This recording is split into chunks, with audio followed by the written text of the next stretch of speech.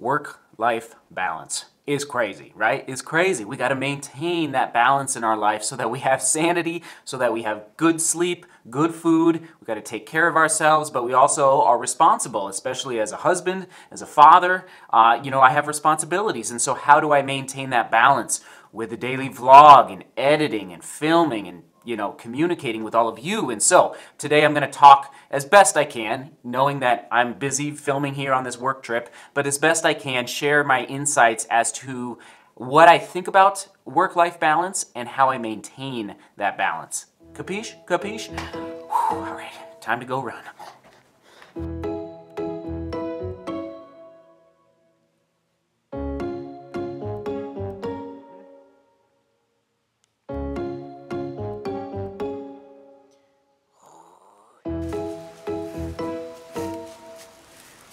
We're back filming with red leaves. It's amazing. All right, back to the work-life balance discussion.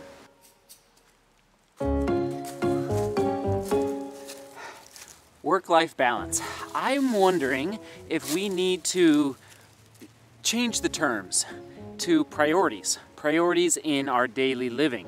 Instead of striving for a work-life balance, finding those layers of our ev everyday activities. You know, you go to the grocery store, not every day, but every week you go to the grocery store. So how do you, how are you efficient? That is one of my most favorite words in the world is efficient. How are you efficient at going to the grocery store, getting gas in your car, and checking the mail at the, at the post office. So I, as far as addressing this topic of uh, work-life balance, for me, I strive for efficiency in basically everything I do. And that's how I'm able to run every day. Now, sometimes it's at 8 p.m. at night, sometimes it's early in the morning, but um, sometimes it's on lunch break.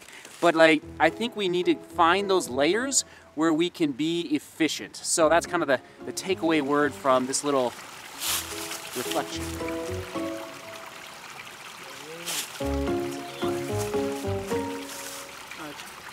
time I bump the log.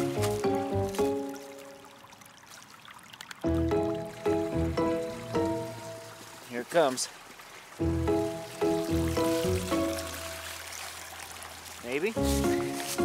And another way to find those layers in life is to find things that you enjoy. Remember we talked about that yesterday. Like if you if you find an activity that you're good at, follow that path. There's a reason you're good at that that that that task, that activity, whatever you enjoy doing. So for me it's running, but as a family man, I have to think long term and say, okay, if I love running, how does my family integrate into running? So, cheering me on at races, uh, dovetailing family vacations with running. Like that's that's the overlap that I look for in different uh, tasks that I need to complete every single week. And so for me, with running, like going up to Run Rabbit Run is an example, and running up in the mountains. But I would I would never go up there for three days without without my family there. Does that make sense?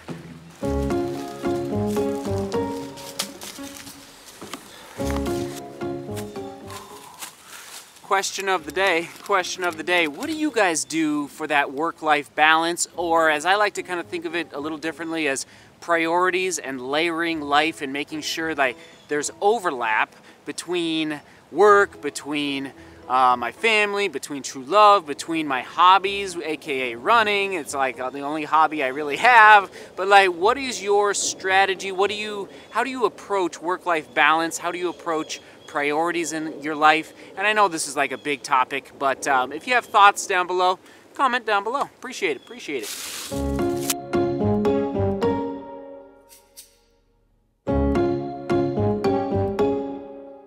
So I want to speak specifically to Will right now and any other endurance athlete for tips on how to basically manage life, work, family, and trying to stay in shape trying to take care of your health through running, maybe it's cycling, but what I am slowly learning, Will, is that uh, like the 30 to 40 mile long run, getting ready for a 50K or a 50 miler is maybe overkill, like really.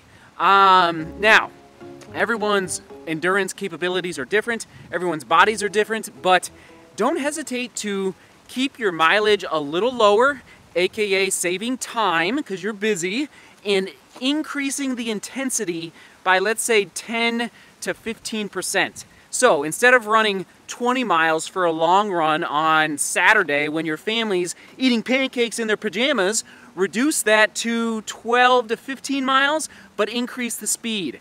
I think uh, I think you'll you'll see a difference in your your speed. So on race day, you'll be a little faster now, and frankly, your body will be able to hold up longer. So anyway, I'm slowly learning this, and um, that's a little tip for all the endurance athletes out there.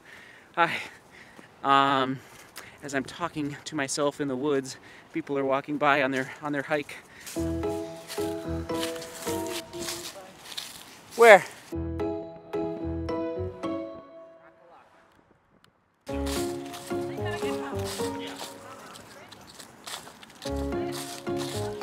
New location along the Mississippi, racing for the sun.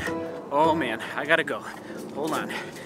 Gotta get that golden hour. Gotta get that golden hour.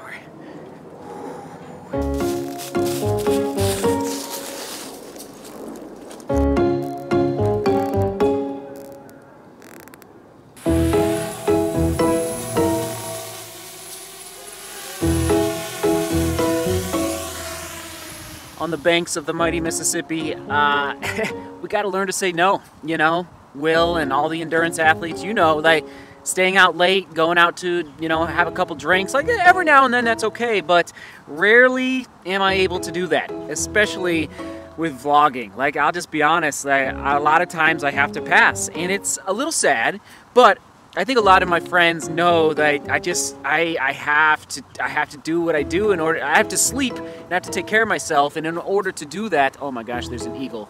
Hold on.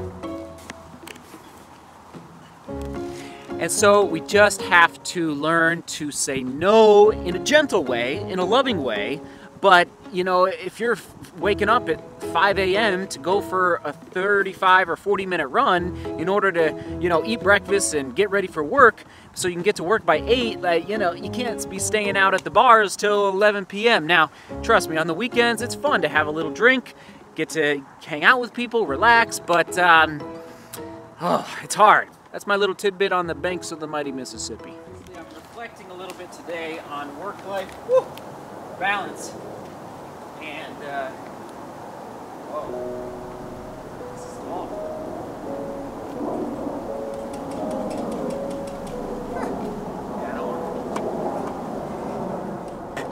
not today, YouTube. Not today. We're not dying today.